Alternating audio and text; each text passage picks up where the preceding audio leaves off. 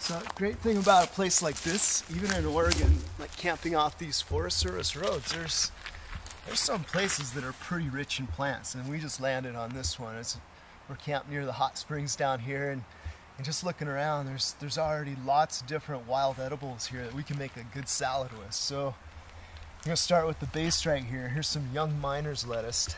And it's just popping up here in this stage, it's a little bit harder to identify. It's um, it's very succulent. Comes out from point like this, and it come out and then they make a hard turn. They're very fleshy leaves. Um, this is probably not the easiest way to identify it, so I highly recommend you don't go from this video footage alone. Look it up in a book. But eventually, you'll get a flower that comes right out of the stem right there. Um, that makes it more identifiable but the taste of this is really nice. It's um, it's got a pleasant sort of um, it's like common lettuce taste, but but even fleshier, and it's really nice for filling out a wild salad. And wild salads are really just take a bunch of different greens with the right mixtures and flavors. You can create, in my opinion, a much better salad than you could make from a supermarket or grocery store. And it's all available out here. It grows wild. And that's a strawberry right there. Wild strawberry. You make a tea from the leaves, and eventually it'll actually get a little red berry later on in the season.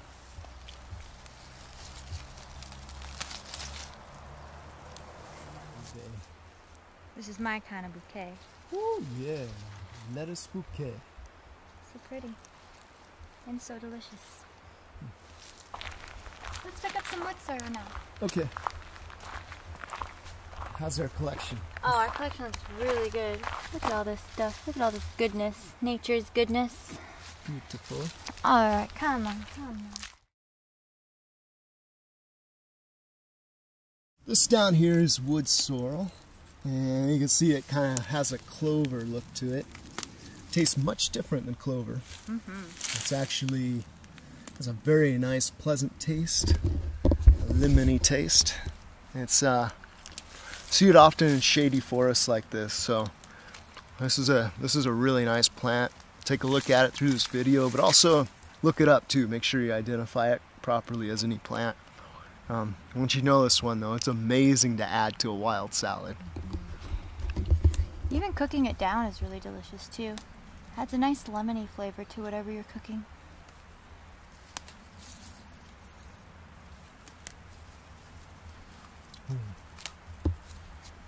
Stop eating our dinner, Matt. I know I'm sitting here collecting, but I'm eating as much as I'm collecting. So good.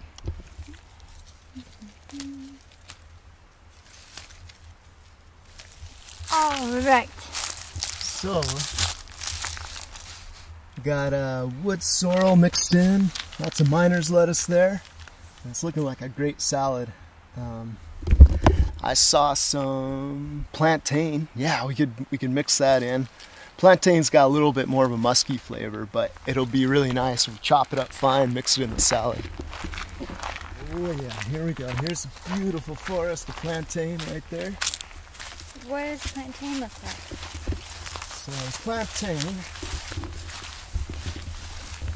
is this plant right down here. You can see it's got uh, this is a big identifier for it. You've got basically a seed tuft that comes up, leaves that are fairly tough and densely veined. And um, wow, plantain, the nice thing about, about it is it's a really good medicinal plant too. Mm -hmm. So mm-hmm. if you get um, an infection or a cut, it makes a great poultice. And it's primarily used as a poultice like if you have a bug bite or a bee sting or a spider bite or something like that. It takes the itch away, and some people use it for poison ivy, poison oak.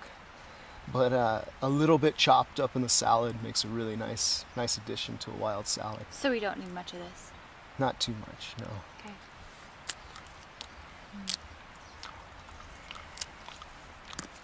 Hmm. So you can see by its by itself, it's almost got more of like a a little bit of a, I call it a musky flavor. Mm -hmm.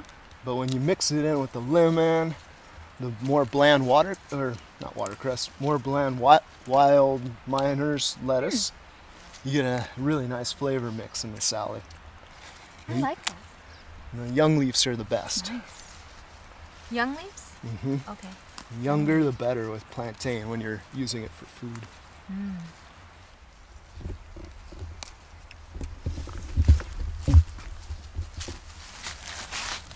Oh, beautiful. Yeah, it looks really nice. Look at all those greens. Mm-hmm. The finest nutrition on the planet. Wild. Straight to you from On the Trail with Matt and Sarah.